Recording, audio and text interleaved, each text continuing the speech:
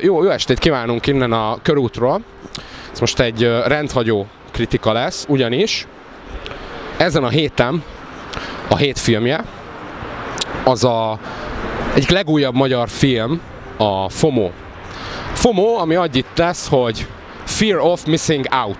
A félelem, amit az gerjeszt, hogy valamiből kimaradunk.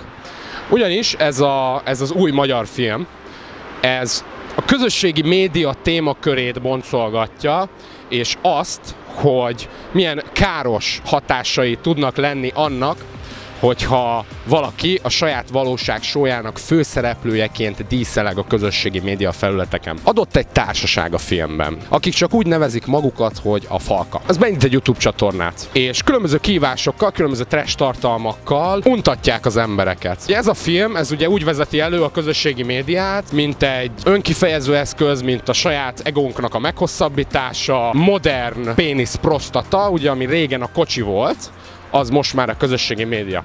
Ugye hát modern fiatalokról beszélünk, 21. századi Magyarországon élő fiatalokról, akik hát a nagybetűs életet élik. Buliznak, isznak, tojnak bele a világba, és hát ezek a fiatalok ugye minden trash, trágár, megmozdulásukat különböző kívások formájában posztolják az internetre. És adott egy buli, ahol is ugye visszajelnek ezzel a dologgal, belehergelik egymást egy bűn elkövetésébe. És akkor ennek a különböző hatásairól szól ugye a film, mint életükre kifejtett hatás, mind a lelki változások, amik végbe mennek. Szóval létezik az a szitok szó, hogy magyar film, ami, ami nehezen értelmezhető, igazából nem szól semmiről, öncélú művészkedés. És ezt ugye a magyar ember nem nagyon fogyasztja. Most első gondolatom ezzel kapcsolatban az lenne, hogy ezt a filmet tömegeknek kéne vetíteni kivetítőkön a Deák téren. Mert ez a film elképesztően jó.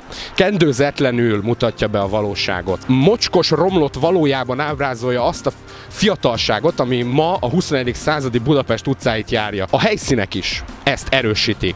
Király utca, Korvintető, Kávintér, Körút, különböző romkocsmák betekintést nyújt a fiatalság mindennapi életébe. És ugye megtörténik az az eset, ami ugye végül a közösségi médiának hála eljut mindenkihez. Ez a film több szinten működik. Egyrészt bemutatja a bullyingot, ugye a szekálást, meg hogy egymás a gyengébb lelkivilággal rendelkező fiúk és lányok hogyan tudják egymást belehergelni különböző dolgok elkövetésébe. És akkor még szól ugye a spoiler alert rape culture-ről, tehát hogy hogyan használják ki a fiatal hölgyek a szexualitásukat, hogyan egyrészt hergelik bele saját magukat különböző dolgokba, és hogy a férfiakat hogyan hergelik föl, és, és elmosódnak a határok, hogy, hogy mit szabad, mit nem szabad, mire bújtott föl mondjuk egy, mondjuk egy csípőmozgást, vagy mondjuk egy, egy, egy, egy koszaérintés. A falkán belül azért megosztó lelkivilágú emberek vannak. Ugye megvan a falka vezér, a főhősünk, aki nagyjából a falka vezér a felszínen, de közben meg neki az egyik barátja a falka vezér, akkor megvan a tipikus visszamaradottabb, gyökerebb karakterünk is, és megvan ugye a hát testileg kicsit molett ugye srác is, akit ugye itt maguk mellé vesznek. Mindenféle fajta baráti köri tagnak az arhetipusa megjelenik ebben a filmben. Hajszál pontosan, tűélesen ábrázolva. Megvan az ördög ügyvédje, aki belehergeli fősünket a bűn elkövetésébe, megvan az, aki csak ki akarna maradni ebből az egészből és csapódik a bandához, és megvan a teljesen gyökér, aki, aki még papucs is. És a film erről is szól egy csoportdinamikai tanulmány, hogy nem szabad hagyni azt, hogy olyan ostobaságok, ordas nagy őrültségek elkövetésébe belehergeljen a barátunk, csak azért, hogy ettől népszerűbb legyen, vagy népszerűek legyenek ők, mint falka. Hogy az egyéniség az nem bűn. Hogy az egyéniség az egy követendő példa is, és mindenki legyen, mindenki legyen egyéniség. Persze erre mondhatjátok azt, hogy hogyha mindenki egyéniség, akkor senki sem az, és ezzel valamilyen szinten egyetértek, de attól függetlenül meg kell találnod önmagad, és, és önazonosnak kell lenned. És ugye a fősünknek ez egy nagyon szép karakter íve, amíg hagyja, hogy rávegyék a barátai mindenféle badarság elkövetésére, de közben meg a film végére eljut arra az erkölcsi magas pontra, hogy igen, fölmerje vállalni a tetteit.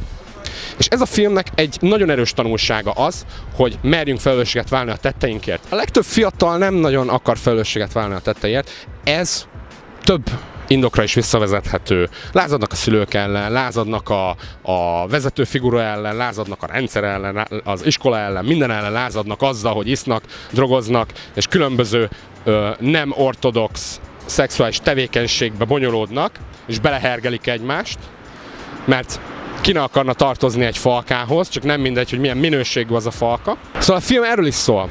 Találd meg önmagad, ne legyél hülye, lehetőségeiddel éljél, ne ronsd el az életedet mondjuk egy ilyen túlblizott éjszakával. Hogy kanyarodjunk egy kicsit vissza a női arhetipus ábrázolásához ebben a filmben. Látunk különböző nő definíciókat ebben a filmben. Jó, hát nőkről még nem beszéltünk, mondjuk 17-18 éves hölgyek, fiatal, ifjú hölgyek, lányokról beszélhetünk, tehát nem kiforrott nőkről. És igazából az elején ugye a filmnek megcsillan a főhősnőnkben a személyiség, viszont ugye különböző külső behatások, fiú, alkohol hatására teljesen eldobja az elveit, és beáll kvázi így a falkába, mint, mint egy nő farkas, és ő is ugye hagyja magát belehergálni különböző dolgokba, ami ugye a filmnek egy nagy tanulsága, hogy ne hagyjuk magunkat. Tehát, hogy haladunk elő a történetben, az áldozat ábrázolás, minden csak nem tipikus. Persze, megvan az a rész, hogy akkor ugye elmenekülünk otthonról, megvan az a rész, hogy magunkat hibáztatjuk, de miután megtörténik a konfrontáció, és helyére kerülnek a dolgok, tehát kiderül az igazság, azután pedig, pedig tényleg emelt fővel szembe tud nézni, vagyis hát azt engedi megmutatni a film, hogy, hogy, hogy igen, ő hazament, és megpróbál szembenézni, és együtt élni ezzel a történettel, és nem az van, hogy ez, ez teljesen leblokkolja az, az ő életét. Én ezt éreztem a hölgy útjának beteljesülésénél. Ez egy nagyon jó dolog, ez nagyon pozitív üzenet, nem szabad hagyni, hogy bármi is gátat szabjon, a személyiség fejlődésének. A lényeg az, hogy azok a részek, amit a film férfi társaimnak, fiú társaimnak és nekem szánt, azok számomra nagyon betaláltak. Az, hogy figyeljünk oda, hogy mit csinálunk, figyeljünk oda, mit csinálunk a nőkkel, figyeljünk oda, mit posztolunk ki, mit engedünk megmutatni az életünkből, mert nem, nem a lájkoktól, meg nem a kommentektől leszel az, aki vagy, magadtól. Mert hogyha magadat fel tudod építeni, és egy egészséges, érzelmi és lexikális intelligenciával össze tudod rakni magad, és nem hagyod, hogy bele, bele hergeljenek különböző cselekedetek elkövetésébe, akkor feltehetően egy egészséges és boldog élet áll előtted. Terveid, céljaid vannak, ezeket megvalósítod. A másik pedig, hogy az áldozatokat, akik ilyen szörnyűséges rémtettek áldozatai, azokat nem szabad emiatt kinézni, kiközösíteni, jelzőkkel illetni, mert azok nagyon károsak lehetnek a személyiség fejlődésében, főleg egy ilyen fiatal korban.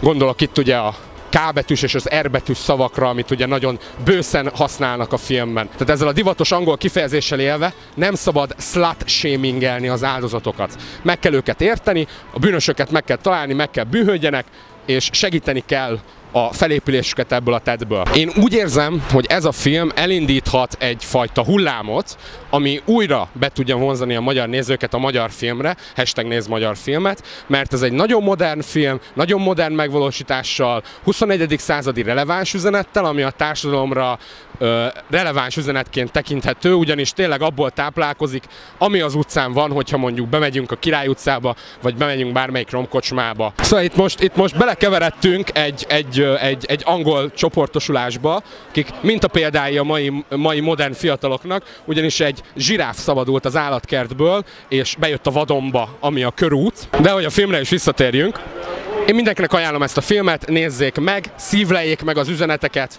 mert tényleg életeket tud megváltoztatni, én úgy érzem ez a film, és egy teljesen más megvilágításba tudja helyezni azt a poklot, amiben saját magunkat taszítottuk, amit úgy hívunk, hogy közösségi média. Én nagyon köszönöm nektek a figyelmet ebben a nagyon random nagyon random helyszínű kritikában. Reméljük még tudunk majd ilyet csinálni. Hogyha tetszett, akkor írjátok meg nekünk, hogy tetszett-e, és hova menjünk még a városon belül forgatni. Írjátok meg a véleményeteket a filmről, ha megnézitek, remélem többen is megnézitek. És ne felejtsétek el, ugye a hármas szabályt, like, share, subscribe, harangot, harangot nyomjuk be, és következő videóig sziasztok!